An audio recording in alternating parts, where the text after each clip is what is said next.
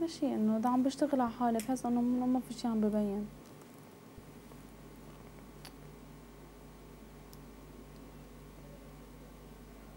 ليه؟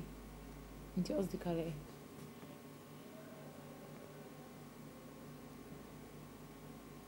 شنطي ما تفكريش يا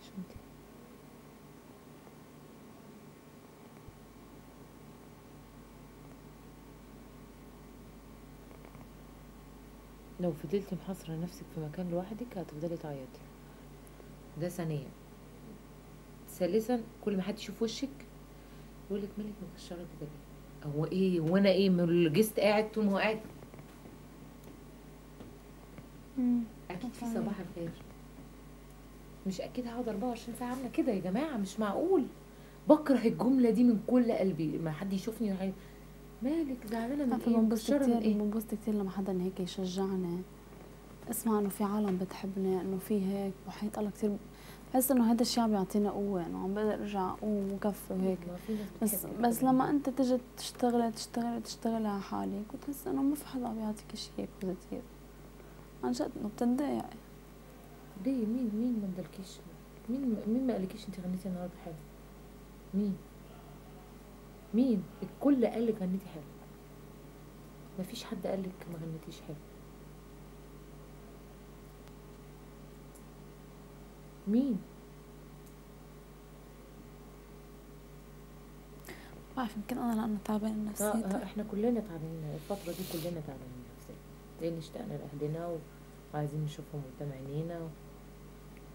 وعلى الأقل عايزين نشوفهم ويتكلموا معانا وبيهدونا.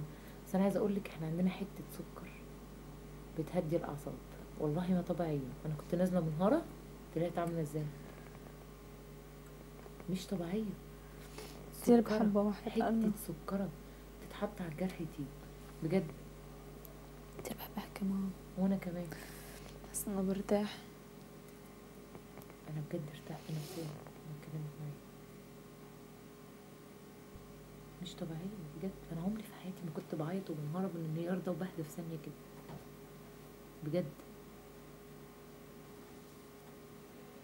أنا جاية على فكرة من بره وأنا كده. تعبانة نفسيا. جاية من تركيا وأنا تعبانة. ما تعيطيش ممكن والله أنا على خلينا. هيك شيل كل شيء من قلبي. أنا على ذرة عياط أنا كمان. أنا ما بحب. أكبت ابدا.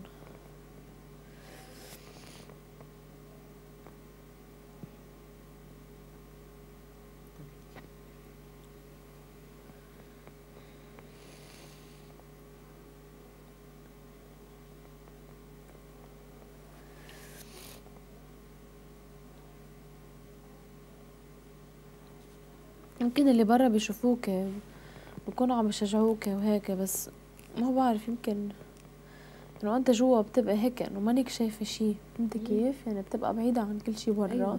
ما بتعرف اذا اذا إذا في ال social media هتفضلوا يبعتولك ويبعتولك ال- الم- الحاجات اللي أنت بتقوليها في الأكاديمية. ده. والصورة اللي مبعوتها لك أنت وعلي والهدايا اللي مبعوتها لك. يعني أنت تعرفي مش مشكلة. مش...